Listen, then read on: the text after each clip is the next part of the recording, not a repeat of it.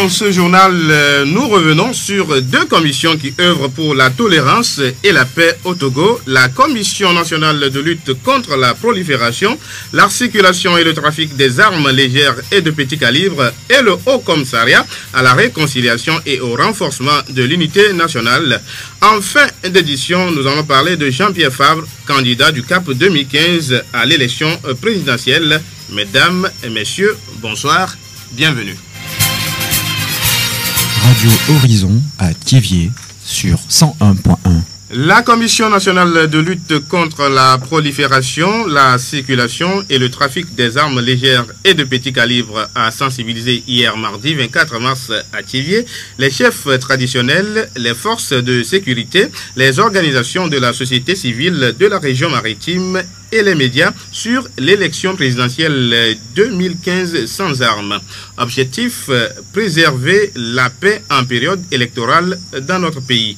Monsieur Bouraima Inoussa, vice-président de la commission. Notre but, notre rôle, c'est de dire aux gens, de sensibiliser les uns et les autres comme quoi nous devons avoir une élection apaisée, sans armes, sans armes blanches, autrement, sans coupe sans couteau, sans bois. C'est le rôle de la commission. Donc nous entrons dans la danse au même titre que les autorités administratives de notre pays qui veulent une élection apaisée, sans difficulté. On ne sort pas à l'issue des résultats avec des blessés, des déplacés et même, pourquoi pas, on ne sorte pas avec des morts d'hommes, si vous voulez. C'est un échange que nous devons faire. Parce qu'après nos exposés, nous aurons droit à nous poser des questions, que nous allons donner des approches de solutions.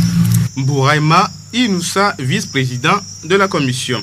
Le Haut Commissariat à la réconciliation et au renforcement de l'unité nationale est une commission chargée de la mise en œuvre des recommandations et du programme de réparation élaboré par la commission Vérité, Justice et Réconciliation CVJR. Cette commission sillonne notre pays depuis quelque temps pour présenter son comité et ses activités aux différentes autorités et acteurs de développement des différentes régions du Togo. Madame Awanana, présidente du HCRON. Tout est urgent. Les 68 recommandations sont toutes urgentes.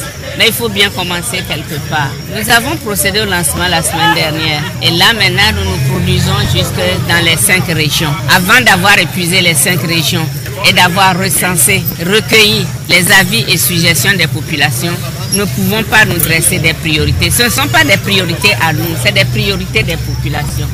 On ne peut pas enclencher un processus sans avoir pensé déjà aux moyens. S'agissant des réparations, tout est déjà marché. Les réparations telles que ça a été élaboré, c'est bien structuré.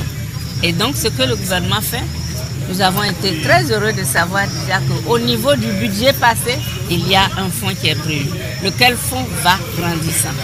Mais les réparations, ce ne sont pas seulement les fonds, ce n'est pas financier. Il y aura des réparations, disons, sentimentaux affectif. Il y a toute forme de réparation. Il y a des réparations sous forme de reconnaissance. Nous avons rencontré les chefs traditionnels, les chefs religieux qui ont prôné des réparations, genre d'organiser sur toute l'étendue du territoire, dans toutes les préfectures, des prières, des libations et des recueillements.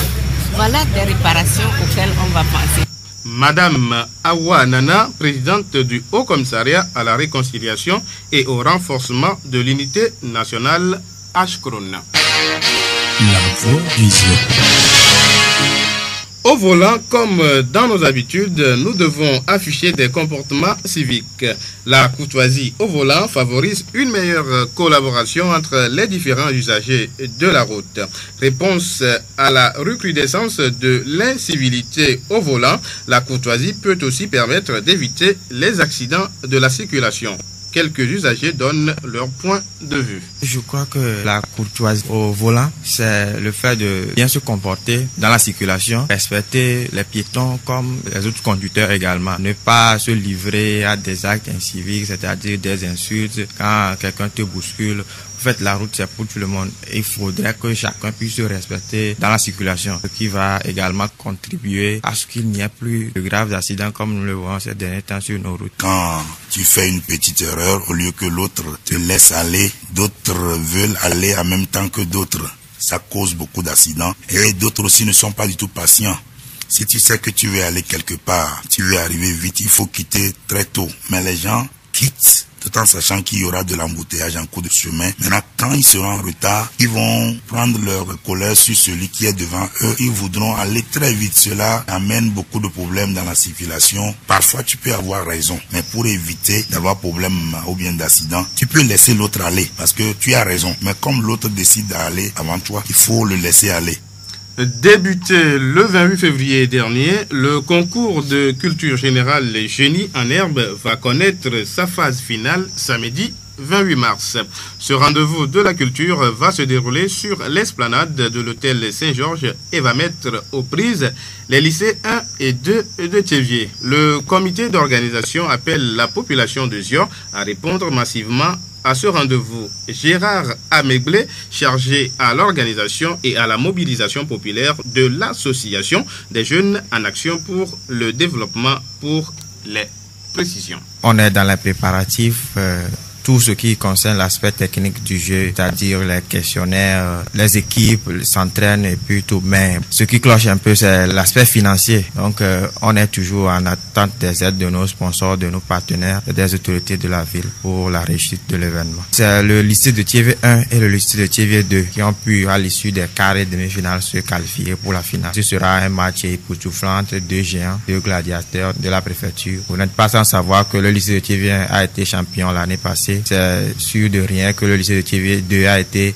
éliminé en demi-finale. Cette fois-ci, ils sont là pour la revanche. La voix du Zio.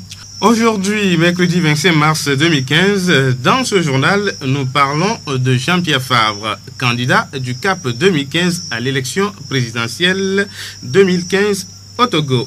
Qui est-il? Blessine Poissonnier Jean-Pierre Fabre est né le 2 juin 1952 à Lomé, capitale du Togo.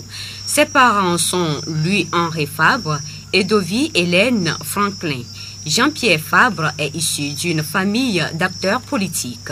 Jean-Pierre Fabre effectue ses études primaires à Lomé, les études secondaires au Collège Saint-Augustin de Togoville, puis au Collège Saint-Joseph de Lomé où il obtint le baccalauréat avant de partir poursuivre ses études universitaires en France. Après une maîtrise en sciences économiques, il se spécialise en administration des entreprises d'ESS et à l'Université des sciences et technologies de l'huile. De retour au Togo en 1979, Jean-Pierre Fabre a été enseignant à l'Université de Lomé, donnant des cours de statistiques, de finances et de sciences économiques. Il rejoint ensuite un important groupe d'études en architecture et urbanisme au bas, dont il occupe le poste de secrétaire général de 1981 à 1991. Il s'investit dans la presse d'opinion et devient directeur de publication et rédacteur en chef de deux revues hebdomadaires, la Tribune des démocrates et le Temps des démocrates. Alors, euh, Blessine, que pouvons-nous dire de ses capacités en droit de l'homme et de la démocratie? Jean-Pierre Fabre s'est investi dans la lutte pour la liberté, la justice et la démocratie en participant à la création de la Ligue togolaise des droits de l'homme, LTDH, en 1980 première organisation non gouvernementale ONG des droits de l'homme créée au Togo, la LTDH avait deux objectifs. Tout d'abord, la promotion, la protection et la défense des droits de l'homme et en deuxième lieu, la formation de ses membres et de la population pour leur permettre de participer à l'élaboration d'un État gouverné par la loi.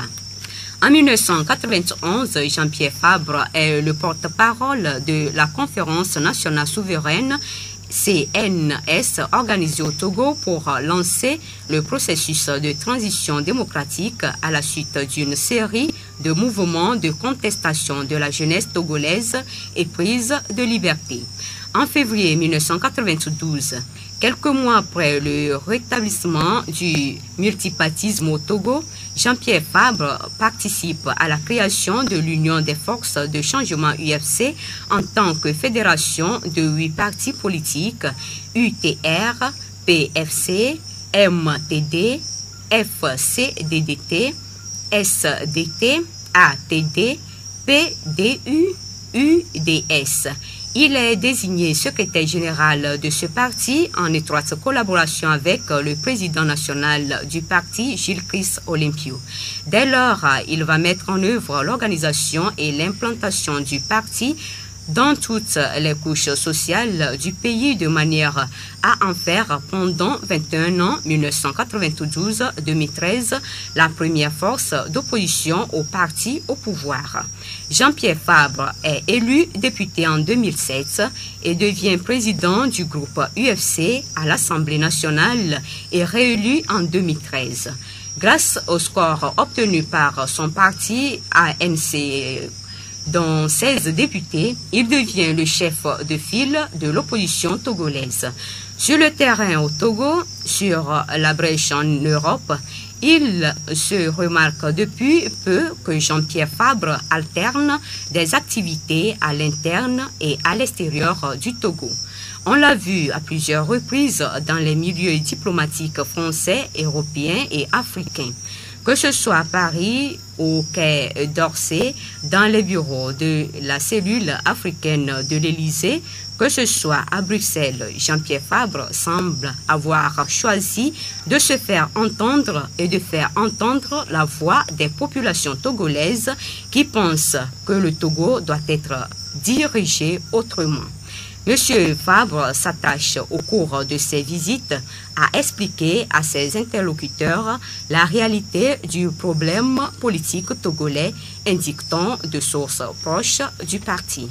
Parlons-en euh, de ces rencontres historiques avec Simbe. À sa demande par courrier en date du 28 février 2014 pour discuter de vive voix des différentes modalités à mettre en œuvre pour aboutir dans les meilleurs délais à l'adoption des réformes politiques, Jean-Pierre Fabre, président national de l'Alliance nationale pour le changement ANC, chef de file de l'opposition, est reçu en audience le mercredi 5 mars 2014 à 14h30 par le chef de l'État, Fort Eswazimna Nyasimbi. Le 22 novembre 2014, Jean-Pierre rencontre à nouveau Fort Nyasimbi. Les discussions qui ont duré une heure d'horloge ont permis au chef de l'État et à ses hôtes de faire le tour d'horizon de trois principaux points, à savoir les réformes, la répression de la manifestation du Cap 2015 la veille et la libération des militants de l'ANC arrêtés dans le cadre de l'affaire des incendies. Nous savons, Blessine, que Jean-Pierre Fabre investi euh, par l'ANC et CAP 2015 comme candidat à l'élection présidentielle de 2015. Oui, du 10 au 11 octobre 2014, les délégations des 70 fédérations de l'ANC, dont celle d'Europe, Asie, d'Amérique et d'Afrique, se sont réunies en congrès ordinaire de leur parti au foyer du cinquantenaire de l'église évangélique presbytérienne du Togo, paroisse de Nyekonakwe à Lomé, sur le thème Mobilisation générale des forces de l'alternance et du changement pour la victoire en 2015. À l'issue de ce congrès ordinaire de l'Alliance nationale pour le changement ANC, Jean-Pierre Fabre a été investi candidat du parti à la présidentielle de 2015. Le 31 octobre 2014, huit partis politiques membres du CST et de la coalition Arc-en-Ciel ont ainsi décidé de se constituer en une alliance forte dénommée Combat pour une alternance politique en 2015, en abrégé CAP 2015. Ils ont aussi convenu de présenter un candidat unique à la prochaine élection présidentielle et des candidatures euh, communes aux élections législatives et locales. Après un processus interne, ils ont désigné un candidat unique en la personne de Jean-Pierre Fabre à la présidentielle de 2015. Voilà, tout est dit sur Jean-Pierre Fabre, candidat du CAP 2015 à l'élection présidentielle. Merci à Blessine Ponsoria pour toutes ces informations.